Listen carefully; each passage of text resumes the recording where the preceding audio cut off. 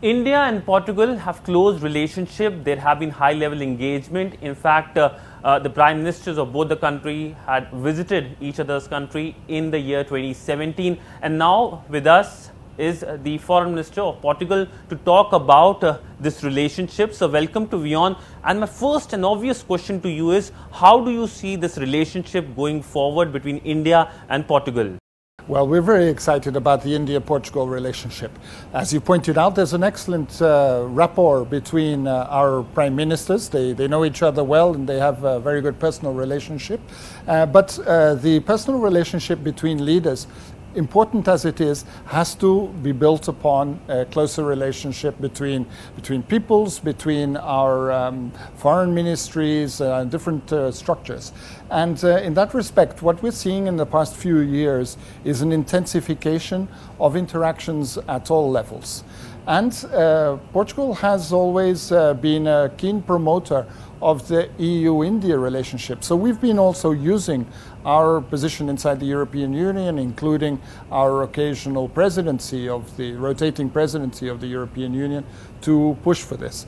So uh, at the moment, uh, we are living a very promising phase in the relationship, and my role as foreign minister, I'm very pleased to feel that uh, Minister Jaishankar feels the same uh, is to build upon this and to take the opportunities as they are arising to create a closer interaction between our peoples. And you met with the Indian External Affairs Minister as well. What kind of conversations were there during that uh, that meeting? And of course, uh, how much there was the mention of what's happening in your part of the world, that is the Russian invasion of Ukraine? Well, uh, I would say that uh, three quarters of our time was dedicated to our bilateral relations, which is indicative of our ambitions and of how much there is to be done in the fields of economics, of culture, of science, uh, mobility. And uh, so we spent a good deal of time talking about what we need to do to create the best circumstances for uh, each of our countries to work more closely with the other. And then, of course, we talked about the wider uh, implications of Russia's invasion of Ukraine, the way that it impacts upon regional security in Europe, the way that it impacts upon global geopolitics, the way that it impacts upon the international order, the United Nations based international order. And on all of these uh, issues, I felt that it was possible to, to uh, develop with India a very uh, strong shared sense of concern and uh, shared sense also of what we need to do working together to fix what is being destroyed uh, currently, particularly in the United Nations system, for example. Uh, so you used an interesting phrase using the term ambitious. What ambition do you see for this relationship in terms of practical cooperation between the two countries, uh, in terms of more engagement, whether it's bilaterally or at uh, the multilateral forum as well? I think uh, the, the best definition of our ambition is that it should live up to the high level of personal warmth that have, we have between our leaders. In the future, India, Portugal, both being democracies, will have other leaders um, who maybe do not even know each other. But what is fundamental is that when that happens, that we have a very solid basis of relationship uh, at all levels. And I think that in the fields of science, in the field of education, field of uh, all of the issues that relate to our young people, uh, the future uh, issues that are increasingly relevant for our world, connectivity, uh, digitalization, the challenges of digitalization, the questions of um, ocean governance and the potentialities of the blue economy. These are all areas in which Portugal and India can work more uh, and more closely together in order for the mutual benefit of, of our populations, of our economy, of our societies. Mm, and how much defense is there on the table when it comes to cooperation? I know there was an MOU that was signed previously, but how far both countries are keen to engage on defense cooperation? Well, that's an interesting point. I'm a former defense minister and therefore, uh, of course, uh, very much aware of the defense dimension of uh, the relationship. And uh, that was also discussed uh, in, our, in our bilateral meeting, namely the possibility of working on uh, our defense industries, strengthening our defense industries, creating partnerships between our defense industries in the area of aeronautics, in the area of drone technology. So I think that both of us have, um, at the end of the meeting, felt that there was homework to be done. Uh, there are new possibilities. We were able to identify areas that we consider to be of mutual interest, and so shall be returning uh, to, to speak to our uh, economic agents, uh, our uh, institutional structures, to say, let's get working on these areas because the other side is also interested in this. Mm-hmm. Uh, so now going back to Ukraine, you mentioned shared concerns. What kind of shared concerns are there? Because there are divergences when it comes to European view of situation in Ukraine and the Indian view of the situation in Ukraine. So what are these shared concerns basically you're talking about and how do you see India's stance amidst this invasion that has happened in Ukraine? Well, I think the shared concerns are largely re related to the high level of disorder that has been introduced by Russians, Russian invasion of uh, Ukraine. Disorder of the international system. It's an international system based on international law, and clearly there has been a, a strong abuse of international law.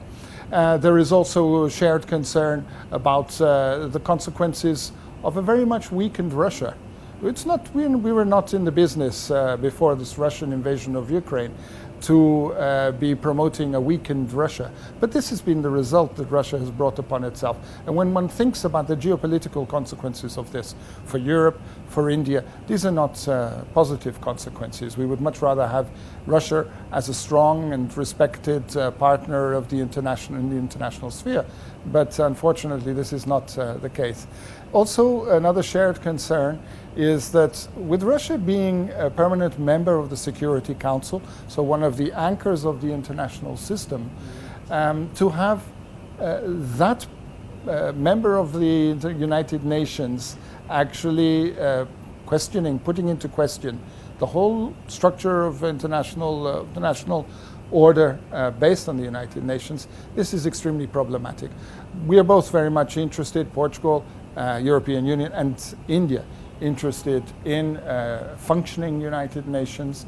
And so I think that one of the things that we're going to have to do together is to work out what manner uh, that we, we can, we can uh, recover something of what has been lost. There's another aspect which has been the result not only of the Russian invasion of Ukraine, but before that also of the pandemic, which is a sense that uh, globalization has broken down and there is a fragmentation of globalization because globalization happened in a manner in which issues of strategic trust were forgotten. There was a level of international integration uh, which created vulnerabilities that uh, countries, in many cases, were not uh, paying attention to. Now they're paying a lot of attention to them.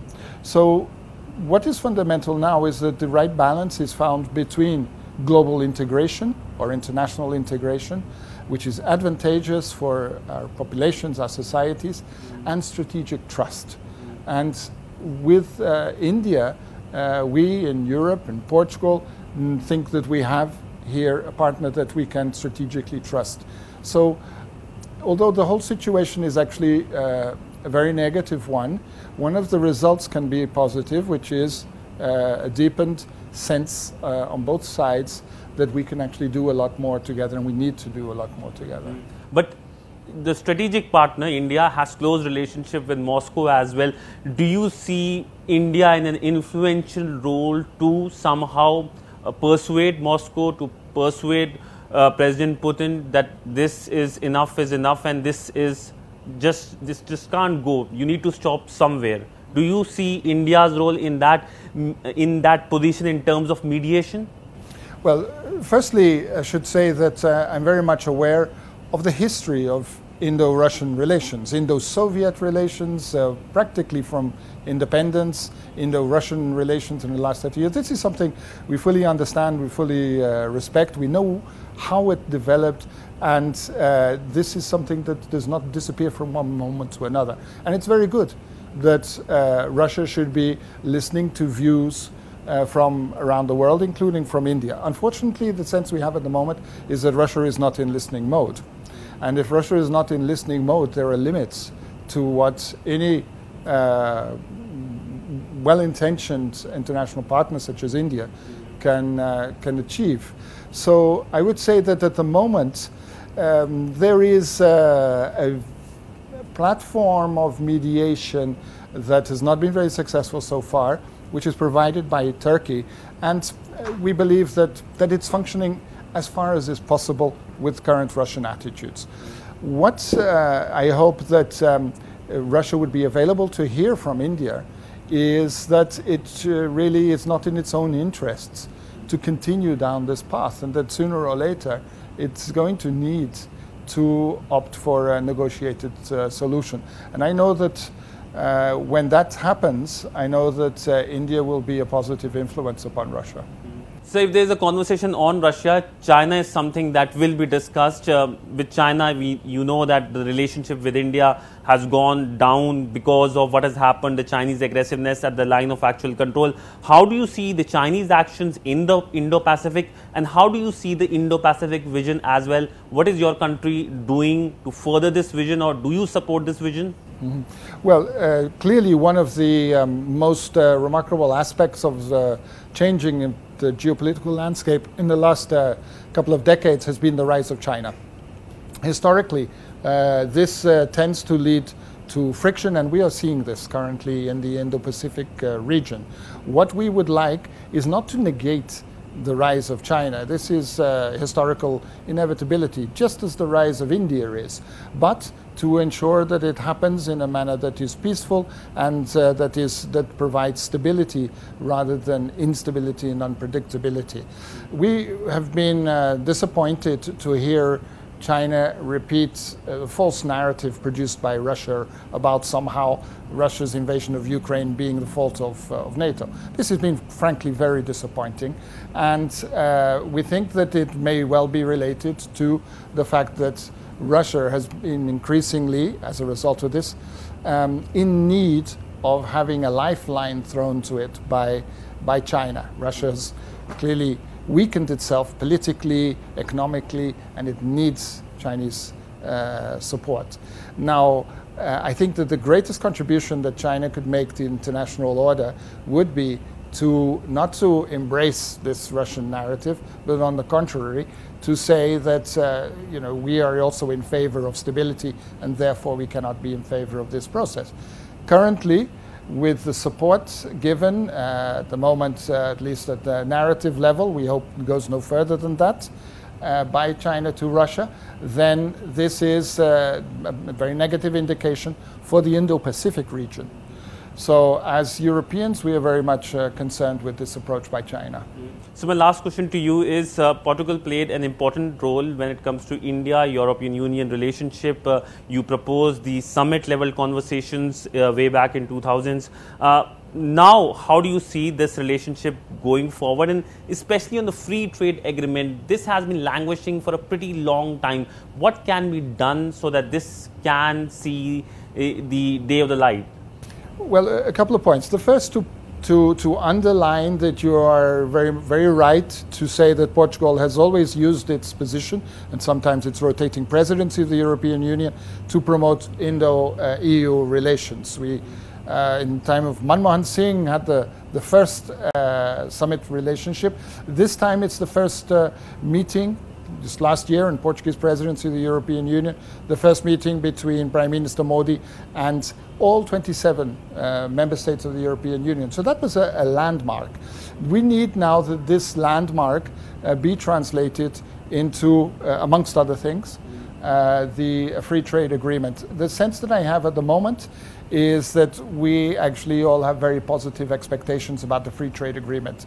I, have known these negotiations well over many years, and they've always been bogged down in the details. At the moment, the challenge and the awareness that we both have on, on, on either side is that this is more than simply about trade. This is a strategic relationship.